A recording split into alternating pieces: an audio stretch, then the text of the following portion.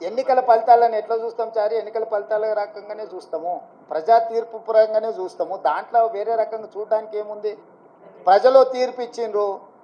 ఆ తీర్పును జగన్మోహన్ రెడ్డి గారు నేను స్వాగతిస్తున్నా అన్నాడు. చంద్రబాబు నాయుడు గారు నేను స్వాగతిస్తున్నా అన్నాడు. ఇక వాళ్ళిద్దరు స్వాగతించిన తర్వాత మియా బీవీకి రాజీ హోయతో కాశీకా క్యాయస్మే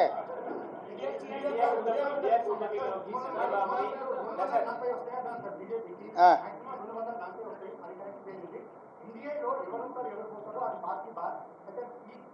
ఈ బ్యాక్గ్రౌండ్లో మీరు ఏమైనా చొరవ తీసుకుంటారా మీ పార్టీ బాస్ని. ఇండియా కాకుండా ఇండియా సపోర్ట్ నీ సూచన ఏంది రాహుల్? ఏం చేస్తే బాగుంటుంది?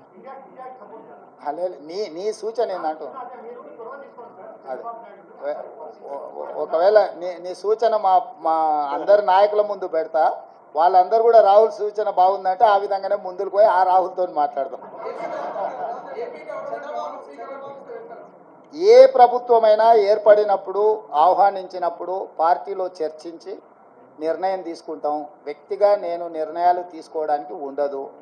పార్టీ సూచనల మేరకే నేను వ్యవహరించాల్సి ఉంటుంది. ఇది సిద్ధాంతపరంగా రాజకీయ పరంగా పార్టీ తీసుకోవాల్సిన నిర్ణయము.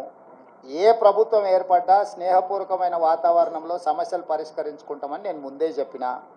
ఈరోజు కూడా నేను ఆ మాటకున్నా ఆంధ్రప్రదేశ్లో ఏ ప్రభుత్వం ఏర్పడ్డా ఆ ప్రభుత్వంతో సంప్రదింపులు చేపట్టి రాష్ట్ర సమస్యల్ని శాశ్వతంగా పరిష్కరించుకుంటాము. ఉమ్మడి క్యాపిటల్ చట్టపరంగానే సమస్య పరిష్కారం అయిపోయింది. హైదరాబాద్ నగరం ఇప్పుడు తెలంగాణకు రాజధాని. అంటే ఒక కీలకమైన సమస్య ఆల్రెడీ చట్టపరంగా పరిష్కారం అయింది మిగతా ఆస్తుల పంపకాలకు సంబంధించి నీటి పంపకాలకు సంబంధించి ఉన్న సమస్యల్ని తప్పకుండా కూర్చుంటాం చర్చించుకుంటాం పరిష్కరించుకుంటాం. మాకేం బేసిజాలు లేవు. రాష్ట్రం యొక్క అభివృద్ధి రాష్ట్రం యొక్క అభ్యున్నతి కోసము ఎవరితోనైనా చర్చించడానికి మేము సిద్ధంగా ఉన్నాం పరిష్కరించుకుంటాం. ఏం- ప్రభాకర్?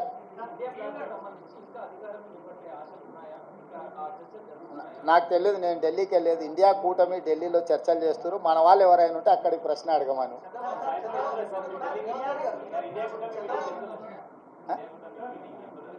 ఇండియా కూటమిలో జాతీయ నాయకులు ఆ కూటమిలో ఉన్న వివిధ భాగస్వాములనే ఇప్పటికి పిలిచిండ్రు. ఇంత ఇంతవరకు అయితే ఆహ్వానం రాలేదు. ఏదైనా ఢిల్లీకి సూచన చేస్తే మీరు తప్పకుండా వెళ్తారు. క్యాబేసి